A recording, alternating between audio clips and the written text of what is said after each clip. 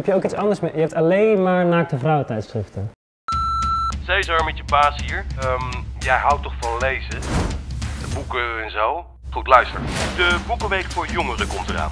Als jij nou even een leuk programma in elkaar zet, je nodig wat schrijvers uit, die gaan eens langs. Gewoon iets met boeken en zo. Gaat wel lukken, toch? Oké, nou, super. Succes! Oh ja, en stop Team Hofman er even in.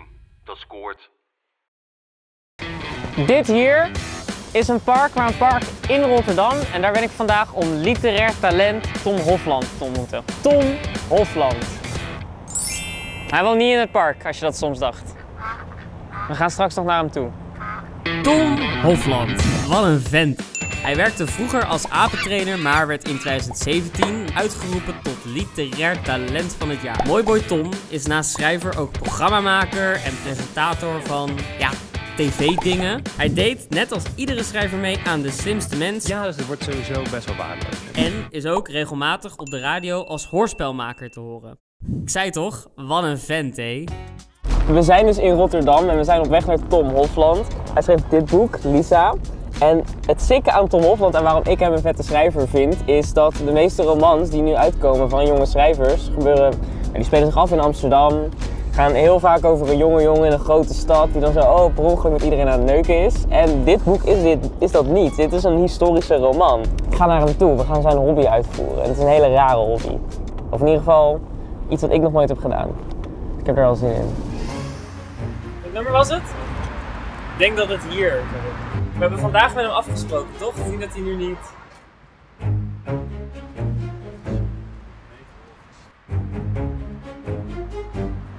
Keer bellen maar. Met Tom. Goedemorgen Tom. Oh ja, ja, ik sta voor de deur. Ben je voor de deur? De bel er niet. Ik kom alleen hè. Oké, gezellig. De bel doet het niet. Ik heb dus even gecheckt wat mijn vrienden weten over Tom Hofland. Dat zie je nu. Wat moet ik doen? Tom Hofland. Zeg me wel iets, man, maar... Klinkt als een hele goede centrale verdediger van uh, Cambuur Leeuwarden. Ik denk aan geschiedenis. Sowieso geen geschiedenis. Hij lijkt gewoon op Peter Parker op afstand. Wel een knappe guy. Ik denk dat hij wel veel meids wiept. Zij is 28 nu, 27, 28. Ze is nog jong, man. Laatst tijd denk ik, je bent pas oud wanneer je doodgaat. Je bent eigenlijk nooit echt oud. Hij is wel zo'n schaker. Hij is zo'n schaker. Of een dammer. Of hij is gewoon ineens raar engineer, gewoon. Hij, hij mixt tracks gewoon. Dat zijn ook zulke guys. Dammer, dammer. Hij is dammer. Ja. Goedemorgen. Goedemorgen. Welkom. Zo was mijn middelbare school ook. Nou, dit is een oude middelbare school. Oh, je lult. Oh my god, ja. Nee. Oké, kom, we gaan even aan de camera vertellen wat we gaan doen vandaag. Want, Tom, jij hebt een hobby. Klopt. En niet heel veel mensen weten dit van jou. Klopt ook. Maar jij houdt van... Collageren. Is dat een woord? Is dat het woord? Colla- collages, maar het maken van collages. Ja. Laten we dan zo dat tv-trucje doen. Dat ik dan zo klap en dat dan zo bam, de spullen er zijn. Ja, lijkt me een goed idee. collageren. Oké. Dat scheelt heel veel sjouwen namelijk. Ja, omdat ja, gewoon ja. zo...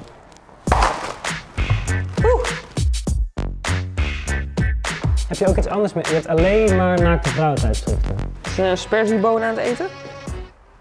Ja. Als jij niet zou schrijven, zou je veel meer dit aan het doen zijn.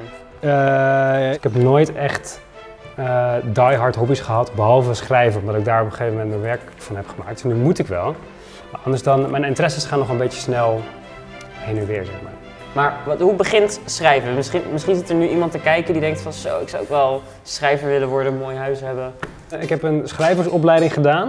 Uh-huh. Er wordt soms een beetje lacherig over gedaan. Dat deed ik zelf ook toen ik erop zat. Maar eh, dat, is, dat was echt top, want daardoor was je gewoon vier jaar lang elke dag met schrijven bezig. En toen ik daar klaar was, toen wist ik echt niet wat ik moest doen. Want als je afstudeert op een schrijfopleiding, banen liggen niet per se voor het Nee. Zeggen ze dat ook op de opleiding? Zo van, Ja, leuk dat je er bent, maar je gaat echt geen baan vinden. bedankt voor het collegegeld, maar waarschijnlijk twee van jullie van de 14 gaan eh, een baan erin vinden. Via mijn opleiding had ik al dingen geschreven en die waren al bij die uitgeverij terechtgekomen. Want je krijgt gewoon les van docenten uit de schrijfwereld. Dus zo, Ah, ook het is ook een beetje ons kent ons, zoals het in elke ja. branche eigenlijk is. Kijk, deze foto's van Poetin, dit zijn ook gewoon de perfecte dingen voor je collage. Hè? Dit moet je dus ook meteen uitknippen. Ik, ik las laatst schrijfadvies van Arnold Grunberg en die zei eh, niet meer dan twee glazen wijn voor het schrijven en ook geen seks. Oh, ja. Ik heb ook geleerd dat eh, toen ik mijn examen deed, mijn HAVO-examen, lang geleden, dat, eh, dat je na afloop moest masturberen en niet daarvoor. dat vond ik echt supergoed advies. Dat kan je in je hele professionele leven kan je dat eigenlijk doortrekken. Lisa of Liza? Lisa? Lisa? Ja, ik, ik krijg een beetje die Romeo en Julia vibe bij deze. eh. Ja, maar ik denk wel dat het hard is om te lezen of zo. Het is gewoon random volgens mij. Gewoon rare wendingen. Ik vind dit dus wel een hele mooie kaft. Ik zou, ik, zou, ik zou het niet zo pakken.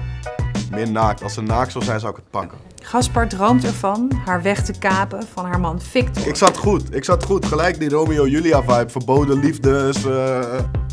Ik ben ook wel benieuwd of hij die meid krijgt. Maar sowieso krijgt hij die meid. Want mensen houden van happy ending. Zeg maar de meeste jonge schrijvers met hippe truien aan die debuteren, die schrijven over oh ik woon in Amsterdam en ik ben aan het neuken de hele dag en Ja. het is verdrietig. En jij schrijft een historische roman. Ja, Hoe dan? dat is een vraag die me vaak gesteld wordt. En dat, dat is ook een beetje de reden waarom ik opviel als debutant. Ik ben een ontzettende fan van sowieso de 19e eeuw. En ik kijk heel graag kostuumdrama's met mijn zusje. Dat is ook een van mijn guilty pleasures. En ik vind het gewoon heel leuk om een wereld te zoeken die ik niet ken en waar je fantasie een beetje Ja. in kwijt ja, want het is niet zo dat je zeg maar.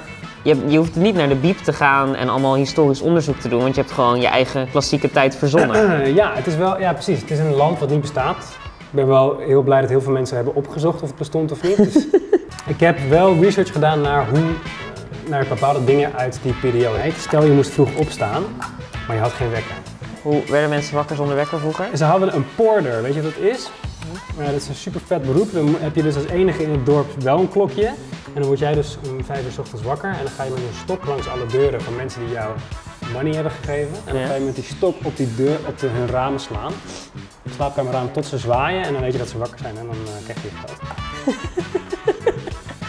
Dat is een sikke baan. Dat is een chille baan, toch? Ja. Eh, Tom, ik heb nog iets voor je. Want ik had jouw boek laten zien aan een panel van eh, mensen die ik ken. En eh, ze hadden een aantal vragen voor je. Dus ik ga nu de vragen gewoon laten zien en dan kun jij hier... Eh, wat je dan zou moeten vragen is... ehm, Of hij veel wiet, man. Je moet hem vragen of hij veel wiet. Daar ben ik echt benieuwd naar. Anders ga ik ook schrijven, namelijk. Ik ben benieuwd of Tom Hofland wel eens naar een festival gaat in de zomer. En daar een beetje met zijn handen in de lucht staat te plappertanden. Ik vind die vraag van Milou helemaal niet zo gek. Eh, ga je wel eens naar festivals? Ik zit te denken voor een cool antwoord. Van ga je naar festivals en zo. Eh, Best Kept Secret ben ik dit jaar geweest. Oké, Daar moest ik wel heen voor de VPRO, dus het was... Ik ga wel graag naar concerten, dat vind ik wel heel leuk. oké. Nou, Milou, antwoord op je vraag. Ja. Hoe weet je het? Ze wilde jou gewoon op date vragen, maar ze durfde niet. Maar je hebt een vriendin, dus dat is ook een beetje... Dus ik moet sowieso toch nee zeggen. Sorry Milou. Wel een leuke vraag. Die vraag van Terry is eigenlijk wel goed. Is, is schrijven sexy? Krijg je er chicks voor? Ik denk niet dat de, dat de schrijvers nou echt de, de sekssymbolen van deze wereld zijn. Ik denk dat je toch beter een YouTuber kan worden. Ja, en me- knol neukt meer waarschijnlijk. Ik denk dat als je het echt, als je het puur om de, om de, om de ondiepe seks gaat, dan kan je veel beter de hip-hop of de, de YouTube ingaan, denk ik. Wat denk je? Je hebt het goed te pakken, man. Goede compositie. Een compos. Kijk, dit is de mijne geworden. Mag ik die jou zeggen? Ja, Oh, wauw. Maar jij hebt dat met dat mondje. Dit is heel vet. Hij kotst het uit, Gerrit Echt een natural. Ja, dit is een soort van de, de droomwereld van Gerard Ekdom. Je moet, het, je moet niet veel gaan uitleggen, want het is een klopt. abstract... ja, Tom, ik wil je wel vertellen, eh, stop alsjeblieft niet met schrijven. Thanks. Blijf, zeg maar, dit moet je minder doen, meer schrijven, want je boek is heel goed. Dank je. Tom, mag ik je bedanken voor de edele kunst van het collage maken Zeker. en ook voor gewoon een ontzettend mooi boek waarvan ik nu eindelijk weet wat er aan de hand is met die jongen die iedereen het literaire talent vindt. Het is gewoon een hele normale gast. Thanks. Jij Ja, ook. Met een hele leuke hobby. Ja. En nu ehm, eh, even video afsluiten. Zeg Ja. jij iets leuks tegen de mensen thuis? Eh, ja, is goed. Eh houdoe. Ik weet, ik kan het...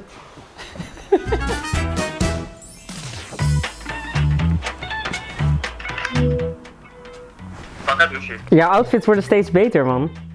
I know.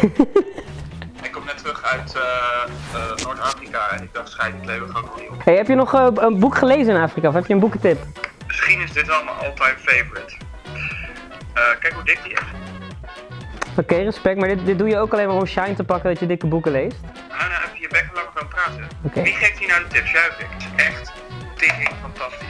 Eh, jongen, als je wil leren hoe vertel je een verhaal, hoe maak je raamwerken, schrijf je, dan is dit zo'n beetje, eh, nou ja, laten we zeggen, een van, de, een van de bijbels die je moet hebben. Alle verhalen van Roald. Dit is, dit is hoe je ook moet werken. Een goede tip, wel bedankt daarvoor.